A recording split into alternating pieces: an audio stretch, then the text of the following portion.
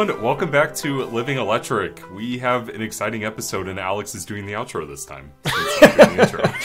That's right. And intro over. yes, intro over. Anyways, what are we talking about today? yeah, so we've got uh, first off, want to touch on the Tesla Semi for a little bit because um, I know that's been all over the news. Going to share our thoughts on that. Um, Brandan and Tyler are currently testing a plug-in hybrid EV, a yes. PHEV, and Brandan has told me he is converting. Yeah, you, so. you can't just start the episode off like that. We gotta we gotta build up the suspense and you know why we're talking about that. Exactly. But, yeah, yeah. we'll get to, we'll get to Brandan's thoughts and why he might be may or may not be converting. Yeah. Um, and then a topic that I I post about on LinkedIn and I've got some interesting feedback on is just uh, the topic of charger reservations. So whether or not you should be able to like say, "Hey, I'm going to be there in 30 minutes. Block off the charger for me." So To yeah. get into our our thoughts on that. So I I definitely have thoughts on that one.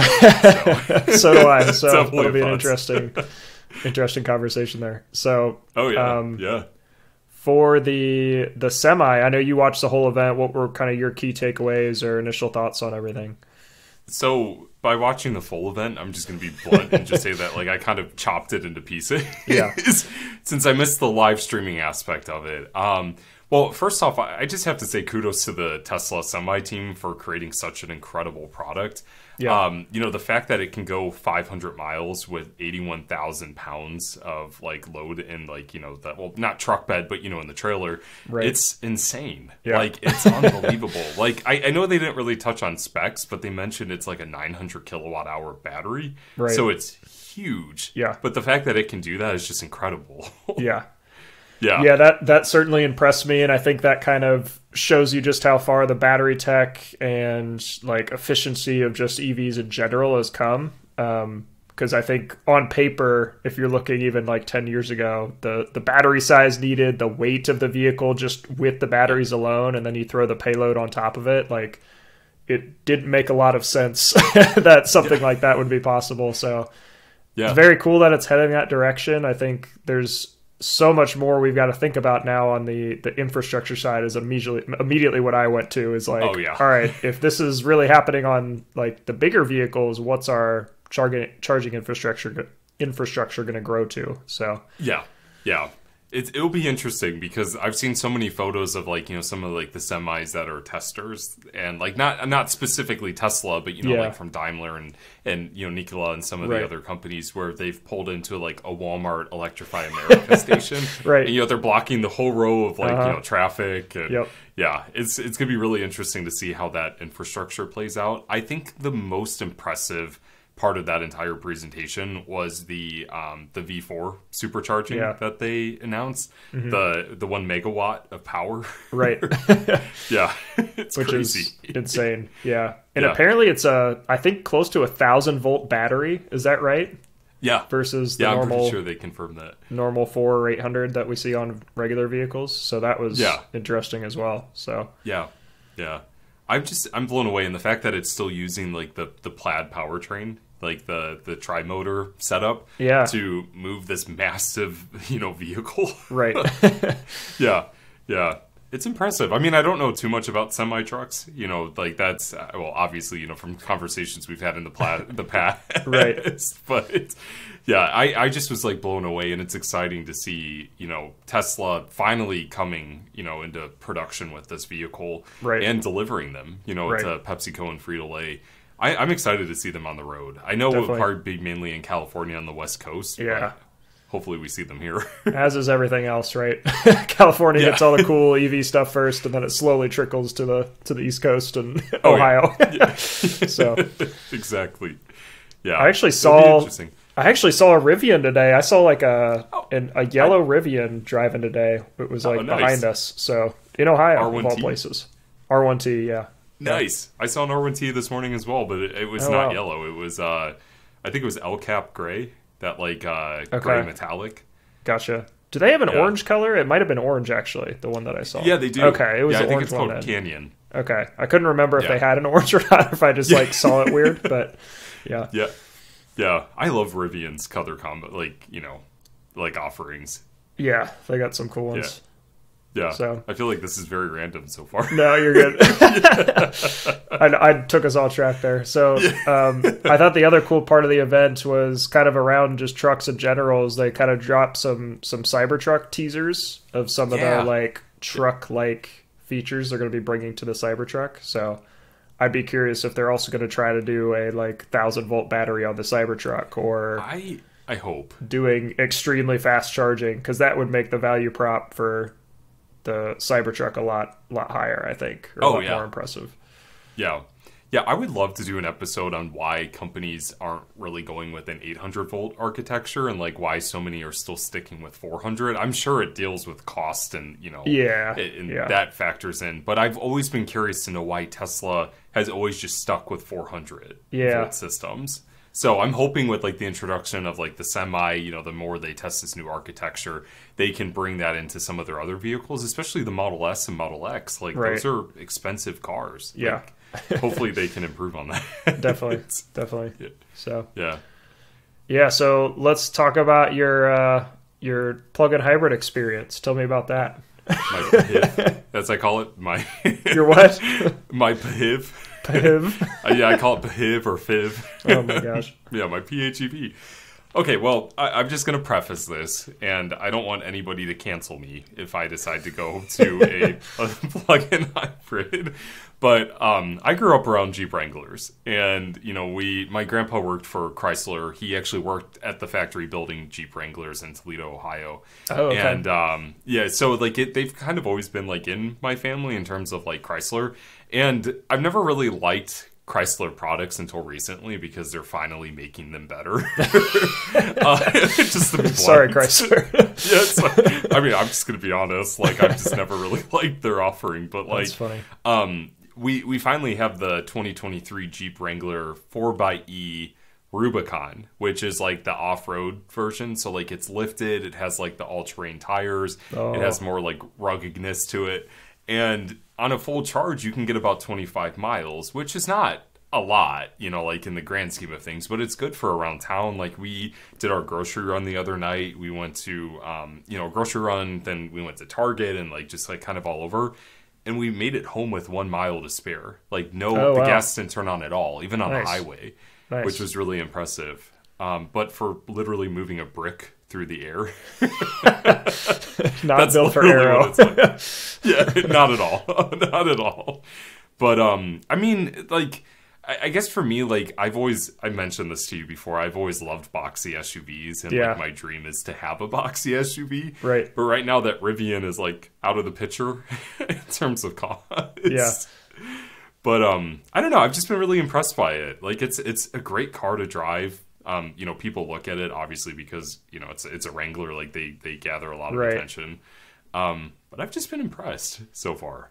Is the the EV mode something you can force to stay on? I know some Mm-hmm. plug-in hybrids it like it'll actively switch between the two if you like really gun it or like are really using a lot of energy. It'll automatically switch to gas or like something like that. But you can lock it in. Yeah. Yeah, I we so we tested the heavy acceleration and if you really push it, the combustion engine kicks on to help Mm. you, you know, accelerate. But um if you really kind of feather like the accelerator, you can get up to 65 miles per hour without the gas kicking on. Wow, Um, okay. But it, it you really have to like it, it's slow. it's Interesting. slow in that aspect. But there's uh, three different modes you can choose from. You can choose from like normal hybrid mode that kind of works in parallel, like you know most most hybrids work. Um, and then there's like the all electric mode where it will maintain as much as it can to ride, you know, drive on electric. Yeah. And then there's e-save, which is similar to what the Chevy Volt used to offer, where like you can drive using the gas engine and it saves the charge in the battery pack for when you get to your destination. So like you can Oh, do okay. your highway trips as like a hybrid, but it maintains that state of charge for you. Um, Interesting. which okay. is pretty cool. And you can set that too, like what state of charge you want it to stick to. And Yeah. it will do that for you. Interesting. Yeah. Yeah. Yeah, plug-in hybrids are so interesting because I feel like they fit a lot of people's use cases so well. Like for people, exactly what you described. It's most of your trips are probably around town. You're either commuting to work or, like you said, going to the grocery store, going to Target, then coming home. It's not like Yeah. Every day you're driving hundreds of miles. It's probably under that. like Yes. realistically for most people. Um, again, like every time I try to say that to people. Well, let, well, I drive a ton. It's like, okay, then don't buy an EV. like, yeah, and um, if you do, be prepared. You know? Right. yeah. um, but uh, but yeah, like plug-in hybrids, I feel like make a ton of sense for a lot of people. I'm still on the like bandwagon. Like, I'm gonna go full EV if I can. Um, yeah. But yeah. I still think like plug-in hybrids still have a role at the current like state of things, if that makes sense. Yeah. Like that yeah. gives people a lot of peace of mind, especially if you're really used to that gas experience. Um, and we may have discussed this before, but I think one of the one of the issues sometimes plug-in hybrids run into is people will never plug them in. So yeah. like you kind of have to know that going in with a plug-in hybrid, like this is a truly hybrid vehicle. Like you've got to fuel it two different ways. you've got to be aware that you have to plug it in still. Like if that's something you want to put up with and it's a way to save a little bit of money or like be a yeah. little bit, bit greener, I think it's a certainly something to look at. Yeah. And the data shows, you know, and it proves your point. Like a lot of drivers who buy PHEVs or you know plug-in hybrids, they don't plug them in. Yeah. They just drive them. Yeah. And it's like they're missing out on the whole benefit of plugging it in. And right. I think so many people like a- like average drivers who buy those vehicles think that they have to upgrade to like a more powerful home charger. But the great mm. thing with you know plug-in hybrids, they have smaller battery packs, so you can essentially get an overnight charge from your 110, right? Know, your household outlet, and I think yeah. so many people like overlook that, right? And um, and I think that that's part of the reason why there's so much controversy, like well, c- controversy. I don't know why I just said it that way. Yeah, controversy. uh, God, controversy.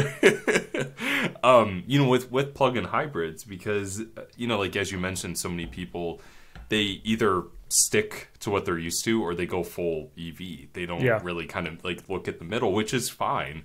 But I think so many people are so worried about the two powertrains merging and the complexity that that brings. And that's a concern of mine as well. Yeah. Um, but I, I agree with you. Like, I feel like if so many people would just charge their cars, they would reap all that benefit that comes yeah. from a plug-in. You know. Right.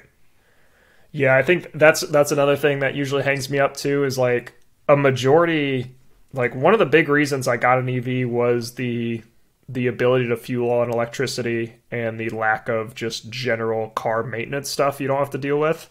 Yeah. Cuz I like I want maintenance and like all of like fixing things and all this stuff to like be not something I have to deal with. Like like if I can avoid it in any way like I am going to. So that is like a huge reason why I got an EV. Whereas with a plug-in hybrid, I feel like you still have so many of those parts. You still have the full gasoline engine, still have to change your oil. Like all of those systems are still in place that could fail or go wrong. Mm-hmm. And granted, like I, I tell people now too, it's like any modern car, like it's probably pretty good. Like, like you you really can't go wrong buying any modern car. Like they are built to last. Like they're they're built to to withstand this, all this stuff. But if you truly want to be like as little maintenance as possible, I still don't think you can beat beat an EV. So no, no, yeah, and, th- that was the thing. Like after owning the Volt for like two, I think yeah, I had that to close close to two years. I'm yeah. like losing track of which cars I've owned, but like, um, yeah, there was a point where I plug I plugged it in so much that the gas actually started going bad in the gas tank. So Seriously? like yeah, and a lot of Volt owners think of it as like a badge of honor if you get like the notification because the gas engine will actually, or like the the generator, um, to, to you know, it's it's. I'm just gonna say it's a generator, yeah, um, because that gets a little bit too much in the weeds. But um, it will literally said that it will say your gas will or your combustion engine will run for 12 hours to kind of pump the gas through like you know the the tubes and you know get like making sure just get it moving like, again so yeah. it's like actually going to yeah, work. So it's not just sitting there. That's yeah. funny. So and in some in some people they've gone so long without using the gas that like the car will have to run on gas for 24 hours to burn through that that still gas. Interesting. It's amazing. wow. But I don't know if like any of these like um, newer you know plug-in hybrids offer something like that. Yeah. Um I you know I've never been in one, or I've never right. owned one long enough to like to know. have all those those things happen. Interesting. Yeah. yeah. Yeah. Yeah. What about like when you you mentioned there's a mode on the is it the 4 by E is like the proper way to say it. it's not 4xe it's 4 no, by E? 4 by E. Yeah I, I, always called it 4xe until I watched a video like from Stellantis. I'm like oh it's 4 by E. I'm like that's yeah clever. I guess that makes sense because it's like a play on 4 by 4 or like whatever. So okay. Yeah. The four by E, you mentioned there's a mode where it'll like basically stay gas on the highway and then keep that electricity for going around town or whatever. Yeah. Can you run it in like EV mode at like a campsite, for example, or like if you're like staying somewhere, like if it's just stationary, is it going to run on on electric power? I'm not. Yeah, I'm not entirely sure. Like, are you talking okay. like if it's plugged in?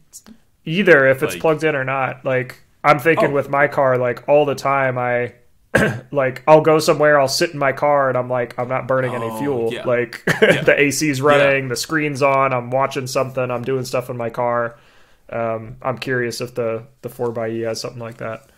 Yeah, you can do that. Um, okay. I I know it's kind of um, you know, like if the battery's cold, the gas engine will kick on to like gotcha. warm up the warm up the battery pack or like you know like warm up the vehicle. Yeah. Um, I've noticed that like in my Volt, it would do that all the time. Like if it dropped below freezing, it would run the gas engine temporarily and then bring in you know like the electric and gotcha. then go back to gas depending on how cold it was. Gotcha. Um, but there's been times where like you know this this past few days with the 4xe, we've sat in it for like an hour and a half, two hours, you know, playing around with the menus and stuff.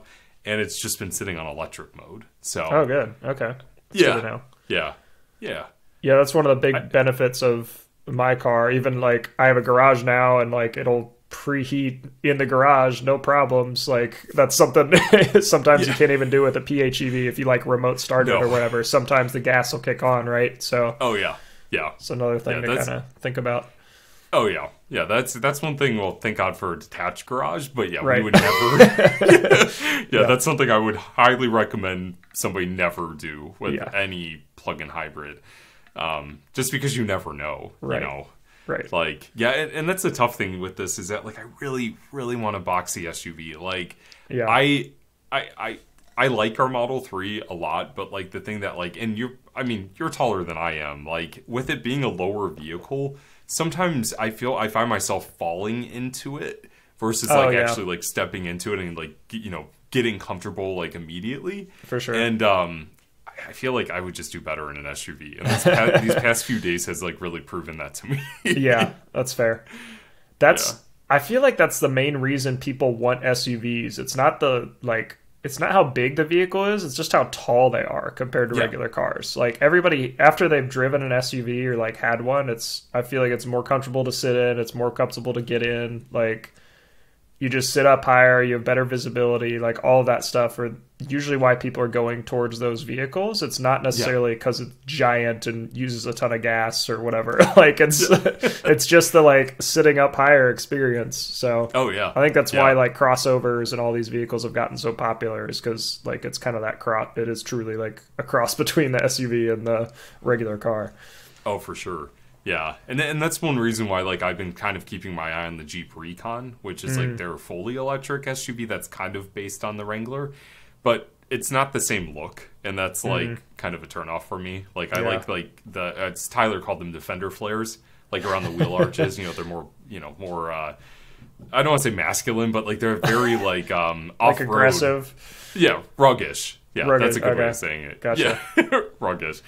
Um, but and so like for me, like that's the look that I would want, and like I think that's why I really kind of like go towards the Rivian. Yeah, it kind of has something you know similar to that, right. but I don't know. That's, Is the uh, Recon out right now? I don't no, know if I've looked into that one. Be, it's 2024. Okay, so it'll be a little bit. That's the other thing I was going to ask because I'm sure like the the price on the 4xe compared to a fully electric one is probably a lot cheaper too. So yeah, yeah, yeah, because well, the starting price for the four x E went up to fifty four thousand, and like it can max out oh, around like okay. seventy two. Jeez. But used ones are much more affordable. Mm-hmm. Like we're finding them in like the low to like mid forties, um, with like under fifteen thousand miles. So like they're wow. still relatively like new. Um, yeah, coming used, off leases. Used car prices are finally starting to cool off, and it's yes. it's certainly going to help. I think it's going to help kind of the EV movement because there's going to be more secondhand EVs that are more affordable for people where they can say, "Oh yeah, I can I can take that chance or take that uh take that financial burden for an EV since they're just they're just so much less." So Oh yeah. That's good yeah, to know. I'm I'm glad it's cooling off, but Yeah. I do I do want to reiterate to our listeners that if I end up getting a 4xE, I already have a plan in place where wherever I go, I will be plugging it in if there's chargers. So that way I can like maintain that EV mode. Right. yeah. So that will uh we'll see what happens, but just want to clarify. Right. Yeah. How do you feel? Does the 4xE have fast charging? Can it do No, it doesn't. DC charging? Oh, Okay. Oh, actually, yeah, this is a good topic we need to talk about. I see where you're going with Yeah. this. yeah. Yeah, uh, plug-in hybrids, in my opinion, should not have fast charging. uh, there's there's a reason why you have that gas backup, and I feel like if you're going to block a charging station for a fully electric vehicle, there's something wrong. Like I don't, I genuinely do not believe plug-in hybrids should have fast How charging. long is a how long is a charging session on a plug-in hybrid? It can't be long. I mean, So, well, the Mitsubishi Outlander uh, is a prime example. It has the blue CHAdeMO standard, and it Yeah. could be 30 minutes to get 25 to 30 miles. oh my gosh, What's the point? That's Like- awful. Yeah, yeah. And the new Range Rovers now have 50 kilowatt fast charging, um, and they can get about 50 some miles, but that's still like 20 some minutes, like 20 to 25 Right. minutes for 50 miles. Yeah, that's yeah. yeah, and then you're blocking it for somebody else. right. Yeah, that's yeah. I don't know how I feel about that because there's like you're. Ex- I think you're exactly right. It's like the the gas backup is there for a reason. Like you probably Yes. at least in the EV world. Usually we talk about it. You have your EV for around town, and then you've got your gas for long trips. So you'd still stop at gas stations, and you've got kind of that similar road trip experience, but. Yeah, like when would you need to fast charge a plug-in hybrid? Because I don't. Yeah, I don't get it. Yeah, I don't get it either. I mean, like if you're like the only the only way that I kind of look at it is like okay, is if you are trying to gain that EV experience Yeah. by you know getting a, into a plug-in hybrid, getting more comfortable with the limitations of the vehicle or like you know limitations of like well not limitations but um you know getting more familiar with like how you're driving is and like how far you typically go to see if an EV would work for you. Yeah. Absolutely. You know, get the experience at a charging station, but like if, you know, somebody pulls up and you're blocking it, you know, for somebody who absolutely needs it, then like you should go. Yeah. like That seems like a lot of work too, because like imagine you are on a road trip, you've made it 50 miles in, it's like, hey, gas engine is kicking on. You're like, oh shoot, I gotta, I gotta pull over Yeah. and find a charging station. It's like Right. I don't feel like most people would even do that. So no. No. that's interesting. Yeah. Yeah, that's where I'm like glad that most plug-in hybrids do not have fast charging because it's just I don't know. It to me it just it doesn't make any sense. Right. Yeah. Yeah. Yeah. I always hate to kind of if that's if you want to be able to fast charge it, I want to be like I don't want to poo poo it, but like it's like No. no. Yeah. yeah, I don't think it makes a ton of sense, but I'd be curious to hear hear listeners' responses to that. If you own a plug-in hybrid, like what is your does it have fast charging? Do you feel like plug-in hybrids should, should fast charge? I'm curious, uh, listeners' thoughts on that. Since we agree all the time, we got to get some other opinions in here. right. Well, I don't know about our next topic. That's I'm true. just kidding. Yeah. because you no, well you mentioned blocking chargers which is a good good segue into that so um this actually came up uh, due to some work I was doing this past week, and just the question around charger reservations came up. So the idea being, you could kind of plan out your road trip ahead of time. You could say, "Hey, I'm stopping here, here, here at these times. Can I click a button and reserve those times?" So like, hey, if I get there within five minutes, it's nobody, it's gonna say, "Hey, it's reserved. Somebody's coming. They've got this blocked already."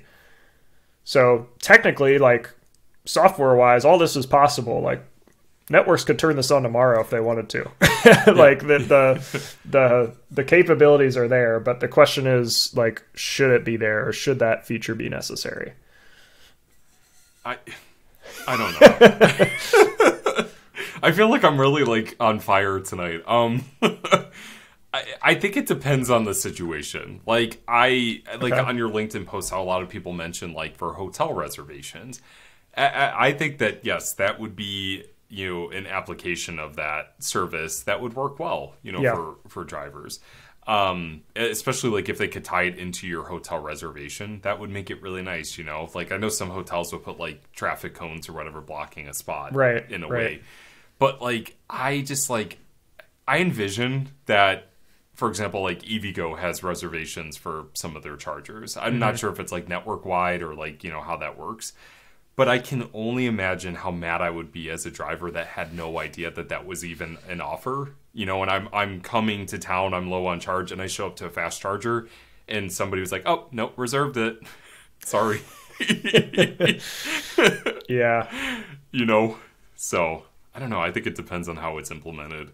Yeah, I agree with you on the level 2 side. I think I think reservations do make sense on that side cuz you're like, "Hey, even like for workplace, you could say, "Oh, I'm reserving it these days because I need it for whatever reason or or I need it like you could kind of block it off so only certain people could charge certain days and you can kind of you can queue people up in that way. Um with and for hotels, I think it makes sense as well. Like you're coming for the night, you're staying the night, you you can block off that charger ahead of time. For fast charging, I don't think it makes sense like at all. like and the only reason I say that is like look at the I always compare like fast charging to the the retail like gas fueling experience. Is like has that been a thing ever for gas where you could like reserve the gas station ahead of time on a road trip? No, Like even if even if that were like technically possible through the gas station's app or something like that, I don't think gas stations would ever turn that feature on. no, Because anytime they have that pump that is like open and just waiting for somebody to use it, like they're potentially wasting money if somebody comes up and they're trying to use the pump right now. yeah, right? yeah, so just business wise, I don't think it makes a ton of sense because you're immediately like, and it makes even more sense for EVs where like utilization is kind of low depending on the where the charger is located and application, all that stuff. I don't think you ever want to like take away the ability for somebody to come up and use it. like No. I think networks and just EVs as a whole have enough problems right now that we're still trying to overcome that blocking chargers should not be something we're like actively trying to do. yes, So- yeah. No, I totally agree with you. I, I think like public fast charging should be based on like first come first serve, just like Yeah. a gas station. Like Yeah. that's how it uh, that's how it works, Right. You know, and like if you have to wait in line, that's what you got to do. Like, Yeah. yeah, yeah. So that is I- like- something. oh, go ahead. okay, no, go ahead. That is something you mentioned waiting in line. I think that is something where we need like a better queue up oh. function for, where it's like, Oh. sure. hey, you're next on stall five A or whatever. Once that car moves, take over that spot. Whereas like, or even I think Tesla should implement this like tomorrow. Say like suggest the stall that somebody should pull into when they get to the supercharger. Oh, that's a good so idea. you don't yeah. ha- even have to think about like hey is this power splitting like the tesla system should know like for the grid for just that site what is the best stall for that driver to pull into so that they have the best charging experience and the system is still like kept good and you're not overloading anything? Like Yeah. they should know that. So i think they should recommend hey pull into this stall. And then if everybody is full have that queue function to say hey you have an x amount of minute wait based on the car in front of you or the multiple cars in front of you how much they need to charge and you- you're pulling into 5a as soon as that car moves or yeah. hey you've got one car in front of you pull into the, the next stall after after they move something along those lines i think that is a much more needed feature than Oh, reservations for sure. yeah, yeah. And another unique feature, you know, to add on to that, it'd be cool if, if Tesla or like these other networks added a way to show you how long or how much longer that person's going to be charging. Yeah. Like based, so like you know, like for example, like you're at a supercharger station. And like it, it will tell you which stall is going to be up next. That way you can kind of prep for that. Like, Mm. Yeah. and I think that would be useful for other situations too, where cars all charge at different speeds. Right. That way you can kind of prep that. Oh, that that's going to be the first one that opens up for me. Yeah, exactly. and I think other networks could could do that as well because like we're getting to that point. It's it's going to take another couple of years till we have like all the vehicle information going back and forth, and you've got Yeah. state of charge and all this stuff, and what they're charging to, how long that session's going to take. That's still kind of on the horizon. It's not here yet. Um, but yeah, I think that's that's very much the future. But do you have any more thoughts on that? Because I have some like closing thoughts on it. oh yeah, I just I think if we could get holograms involved somehow, that'd be cool. You know, like have the parking lot, you have like a hologram of like what number you are. I don't know. I mean, oh, like uh, or like, like AR would be cool, like augmented oh, reality yeah. on like your windshield or something. Yeah, I know some cars cool. do that. I was thinking more like Yu-Gi-Oh. Like I'm really just dying to have like some type of like holographic card battle. Right. At the charger. yeah. Right, you duel for your charging spot. New rules. right. That's funny. Yeah, but that's all I had. So yeah.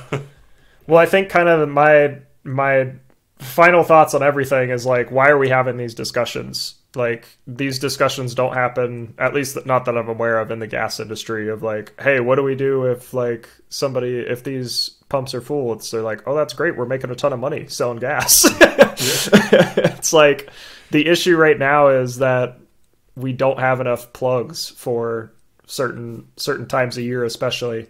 Mm-hmm. Um, like that is the ultimate solution. I think is is just building out the charging infrastructure better. Like we would not be having these conversations about reserving chargers or blocking them or queuing up or anything if there were truly enough chargers for all the vehicles we needed. Yeah. Um, so I also this kind of led me off on my own tangent in my my head of if uh, I think like you see this in with gas as well when there's like shortages on it or unfortunately when there's like hurricanes coming you have this big rush on the the gas and you have these long lines. I think it's obviously different but similar. You have similar kind of things around like holiday travel and like yeah. peak travel with evs it's like a lot of the superchargers i normally frequent on just kind of my my typical weekend road trips are not generally full. But anytime i take a a holiday road trip, like I'm going to be traveling a few weeks for Christmas here, and I guarantee you some of those chargers are going to be close to full that oh, I almost sure. never yeah. see full. Yeah. So I think I think just that the industry as a whole has a unique problem there where it's it doesn't necessarily need to be built out where it's like we're ready for this huge surge multiple times a day. It's like you've just got to be ready for those like few weekends a year when a ton of people are traveling. so yeah. Yeah.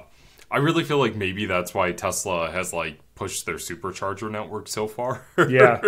it's just making sure that they're prepped, especially for the holiday time. Right. I mean, right. Yeah. And you see them even bringing in those like mobile units, right? Yeah. Where they're like, hey, yeah. it makes financial sense for us to roll these in once a year. it doesn't yeah. make sense to build out more stalls here. So, yeah. Yeah. No, yeah, I, but... I agree. It's going to be interesting to see how things play out um, right. just in general with like the EV industry. Yeah, yeah, yeah. It's uh, one other thing on that point. Sorry if I'm rambling here, but oh no, you're the, good. Uh, it's a podcast. it's true. Yeah. We're supposed to, right? Yeah. Um, one other thought I have is like, what do right now EV charging stations typically you have like you have your transformer coming from the grid, you have typically like an AC to DC converter, and then you have all these like stalls or dispensers or plugs, whatever you want to call them, where people pull up and charge. Um, sometimes they are built out where like that AC to DC converter. Hopefully, I'm not losing anybody here, but that you like still got my attention. Okay, good. sometimes that that single box that does that grid conversion to the DC for the charger is only hooked up to like one or two chargers. Whereas like Tesla is really smart because they only have two of those on every site. Like uh, if you have a bank of eight supercharger stalls, they have two AC/DC converters, and then they have like wires or buses, like different circuits running to each one. Oh, and they can actively switch and balance between all of the stalls on the site. So similar to where I'm going with this is like you think of a gas station they have those giant tanks underground, right, where it stores all the gas. yeah. And every we call it a pump for a reason. Every one of those is just a pump. It's just pumping out of that big gas tank. So instead of like overthinking it, where like you need multiple of these AC to DC converters, one for every charger, like just have one giant one that's able to balance between a bunch of stalls on site. You can just balance between all of them with software it's a lot smarter than trying to like have dedicated charging or dedicated circuits for every one. I think. Yeah. So. Yeah. That's interesting, and and this is exactly why we appreciate your knowledge. yeah, that one's free. I, I mean, I'm charging a consulting fee for the next yeah. one. yeah, this portion of the podcast is behind a paywall. yeah. no, that's really interesting. I mean, like this is all information that like I don't have when it comes to like charging installs. That like I wish. I mean, it's good that I'm learning about this now, but like this is stuff that like I I wish and I hope all EV companies start introducing to their employees so like they're aware of it. You right. know, like this is even if you're even if you're just a customer service representative or you know all the way up to an executive, like you should know this stuff. Like I think right. it's interesting. Like even yeah. if you don't implement it throughout your day, it would still be good. You know, good to know. Right, and just understanding the business behind it too, because like I prefer that kind of setup because then it's more modular too. Like yeah. what happens if a gas pump goes down? They just like they repair that single gas pump and all the other ones are still working. It's not like it has any effect on the other gas pumps around it or yeah. or like similarly for charging like at Tesla stations if a single stall is down it's just that stall it doesn't affect the ones around it and I've seen some charging site setups where it's like if one of them goes down or one piece of equipment goes down, then like it can cause the uh, problems on the other ones, or it could oh, cause oh, yeah. problems on a, on another plug. Like there's just needs to be a little bit more modularity and kind of redundancy with things. I think. yeah. So yeah, we should do a whole episode on that. That'd be interesting. yeah, I've got a lot of thoughts on it. So well, let's do it. As always, this ends with uh, us either complaining or telling uh, telling how we want the future of EVs to be. Yeah. So, well, this is exactly why we work in the industry. That's right. That's right. You know, yeah, we you know got to make the got to make the difference. Got to right. improve the industry for every driver out there. So definitely, yeah. Well, you ready for that outro? I was waiting for you to cue it up for me. Yeah, yeah. I think that's all and the go. I think that's all the thoughts we've got here. Um, certainly, like like every episode, we uh, are open to feedback on this stuff. We've got some excellent comments on the last episode. I don't know if you got a chance to look through some of those on YouTube, uh, but we got no, some, I didn't. We got some good feedback, so appreciate those comments. Definitely keep them coming, and uh, we'll talk to you all in the next episode.